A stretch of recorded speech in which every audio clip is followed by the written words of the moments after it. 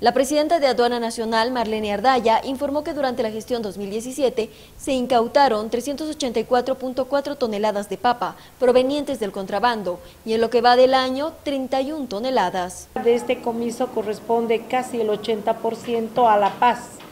El ingreso se realiza por el lado del Perú, entonces vamos a fortalecer todos los caminos que son circundantes eh, especialmente a la eh, frontera con el Perú, el tema de desaguadero.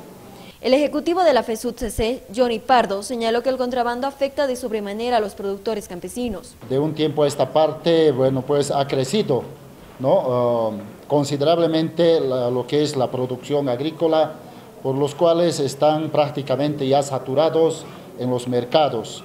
Y encima de eso nos, tremendamente nos afecta lo que es el contrabando, ¿no? y asimismo también el ingreso legal de algunos productos cuando ya existe ya eh, de esos productos en los mercados ya saturados acá en Bolivia. ¿no? Ante esta situación, tras una reunión interinstitucional, se llegaron a dos acuerdos. El primero consiste en darles a los dirigentes campesinos las rutas por donde está la aduana nacional y la segunda, implementar un formulario para identificar la producción nacional esta propuesta del ministerio a la cabeza nuestro hermano ministro y el SENASAC establece que se pueda realizar eh, un formulario que eh, prácticamente a nosotros nos garantice qué es la producción por parte de los municipios.